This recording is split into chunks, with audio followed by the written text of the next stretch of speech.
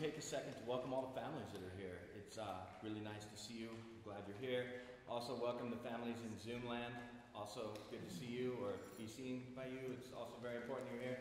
Um, tonight is one of my favorite concerts of the whole thing because this is where all the hardest work pays off, or the hard work pays off at least, and we get to see uh, the ensembles that were nominated by coaches to be here tonight and selected by our staff to be here tonight to uh, really, really highlight what we do here at Lamont Summer Academy. Um, we've had a great two weeks with all of the kids, and the concerts today have been phenomenal, and we're so proud of everybody. We're, uh, you guys running on empty? Because I am almost on empty.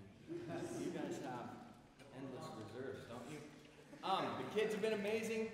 Families have been amazing. I do want to draw attention to the sponsors on the back of your program. Uh, just really quickly, Friends of Chamber Music uh, Denver supported our masterclass day. Schmidt Music and the Lone Tree Symphony uh, help us with scholarship funding. La Belle Rosette, which is a great little coffee house about a block that way if you're ever in the neighborhood, need some coffee, swing in there. But they, uh, they fed us a couple days, which is really nice. And Luther Strings provided us with some instruments as well as more money for string scholarships. So I'd like to thank our sponsors for the help that they provide.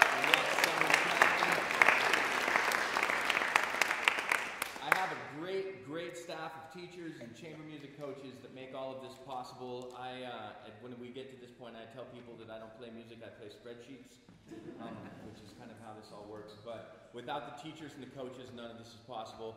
But that's also not really who we're here for. We're here for kids tonight, so let's hear them play music.